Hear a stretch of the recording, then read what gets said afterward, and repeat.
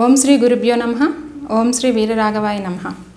సింహరాశి వారికి నవంబర్ ఒకటి నుంచి పదహారు వరకు గోచార రీత్యా ఫలితాలు ఏ విధంగా ఉన్నాయో ఇప్పుడు చూద్దాం.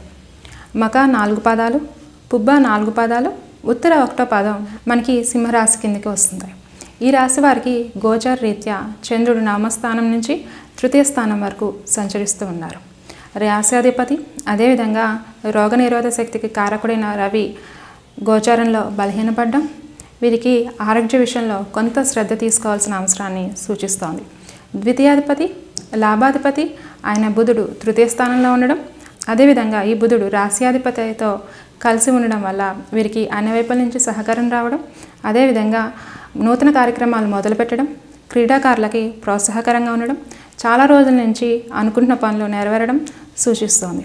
తృతీయాధిపతి దశమాధిపతి అయిన శుక్రుడు ద్వితీయ స్థానంలో రావడం ఈ శుక్రునికి నక్షత్ర రీత్యా అష్టమ నవమ భావాలతోనూ చతుర్థ భావంతోనూ సంబంధం రావడం మూలంగా వీరికి అంతగా ఇష్టం లేని ప్రదేశాలకి ట్రాన్స్ఫర్ అయ్యే అవకాశం ఉంది. చతుర్థాధిపతి నవమాధిపతి అయిన కుజుడు అష్టమ స్థానంలో ఉండడం అదేవిధంగా ఈ కుజునికి రాశ్యాధిపతి అయిన రవితోనూ ద్వితీయ లాభాధిపతి అయిన బుధునితోనూ సంబంధం రావడం వల్ల వారసత్వ పరంగా కొంత ఆస్తి కలిసి వచ్చే అవకాశం ఉంది. అదేవిధంగా రియల్ ఎస్టేట్ ఆటోమొబైల్స్ మరియు స్పోర్ట్స్కి రిలేటెడ్ రంగాల్లో ఉన్న వారికి ఈ సంయోగం వల్ల ధనలాభం కలుగుతుంది. పంచమాధిపతి ఆయన గురుడు స్వస్థానంలోనే ఉండడం ఈ గురునికి నక్షత్ర రీత్యా ద్వితీయ తృతీయ ఏకాదశ భావాలతో సంబంధం రావడం వల్ల షేర్స్లో మరియు ఇతర రంగాల్లో ఇన్వెస్ట్మెంట్ పెట్టాలనుకునే వారికి ఇది శుభ సమయం అని చెప్పచ్చు. షష్టమాధిపతి సప్తమాధిపతి ఆయన శని స్వస్థానంలోనే ఉండడం.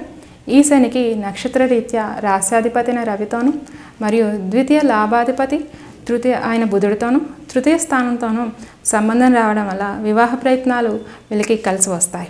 అయితే శని సష్టమాధిపతి కూడా అయి ఉండడం వల్ల వివాహ విషయంలో వీరికి సమాచారం అందడం లేట్ అయ్యి కొంచెం ఒత్తిడికి గురి అవుతారు.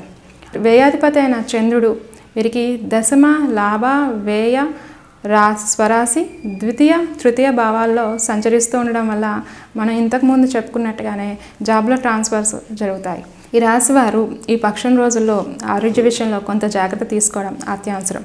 ఈ రాశి వారు ఈ పక్షం రోజుల్లోనూ ఉత్తమ ఫలితాలు పొందడం కోసం ఆదిత్య హృదయాన్ని పఠించడం శ్రేయస్కరం. ఇది సింహరాశి వారికి నవంబర్ ఒకటి నుంచి పదహారు వరకు గోచార రీత్యా ఉన్న ఫలితాలు.